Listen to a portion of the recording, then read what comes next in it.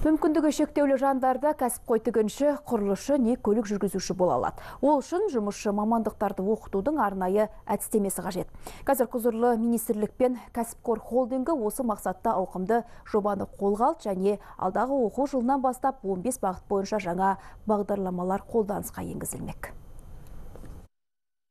Қазақстанда қазір 150 мыңға жуық мүмкіндігі шектеулі жандар бар. Және басым бөлігі еңбекке әбден қабілетті. Ең бастысы осы мүмкіндіктерін ашып оларға дұрыс бағыт сілтеп осы арнайы оқу бағдарламасын білім жүйесіне енгізу керек. Ал қазір бізде қалай? Бізде балабақша және мектеп деңгейінде барлығы бір жолға қойылған да ал дәл мамандық таңдар кезде кейбір кедергілер кездеседі. Білім министрлігі осы олқылықтардың барлығын жойып барлық жағдайды халықаралық талаптарға сай еткісі келеді.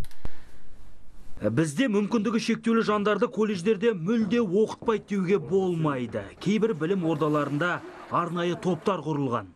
Өкініштісі сол кейбірінде ғана өте аз. Соның салдарынан 150 мыңға жуық кембағал жанның қазір тек бір пайызы ғана жұмысшы мамандықтарды игеріп жатыр. Ал биыл қолданысқа енетін бағдарламалар санды да сапаны да еселей түсетініне сенімді мамандар.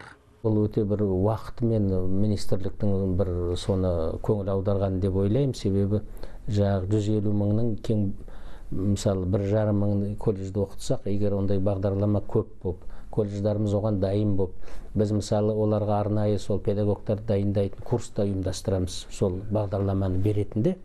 Содан кейін оларға арнайы жаңағы оқу әдістемелік құралдарды да дайындаймыз. Сонда бұл толыққанды өзінше бір жүйе сала болайын деп жатыр. Негізі кембағал жандарды жұмысшы мамандықтарға баулу кәрі құрлық елдерінде жақсы дамыған. Бұған қоса ақш сингапур малайзия және көрші ресейде де оған қатты көңіл бөледі. Отандық мамандар осының барлығын ескере отырып тігінші мамандығына қатысты арнайы бағдарламаны жасап шығарды. Қазір ол пилоттық негізде сынақтан өтіп жатыр. Ал қыркүйекке дейін осындай оқу әдістемелік жобалар саны 15-ке жетуі керек. Ең бірінші балаларды қайда жіберетінін білмейдік. Ол балаларды енді жалпы қоғамда үйрету керек қой. Ол бала бір орын алу керек өмірде осылай дайындалып.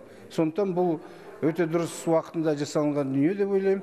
Бұны ары қарай біз мына кәсіпқор холдингімен бірге қазір жұмыс істеп осыған арнайы бағдарлама жасап республика бойынша осыны іске алып жасап жатырмыз жұмыс істеп жатырмыз. Мүмкіндігі шектеулі жандардан кәсіпқой құрылысшы не сылақшы дайындау үшін бір ғана оқу әдістемелік құрал жеткіліксіз.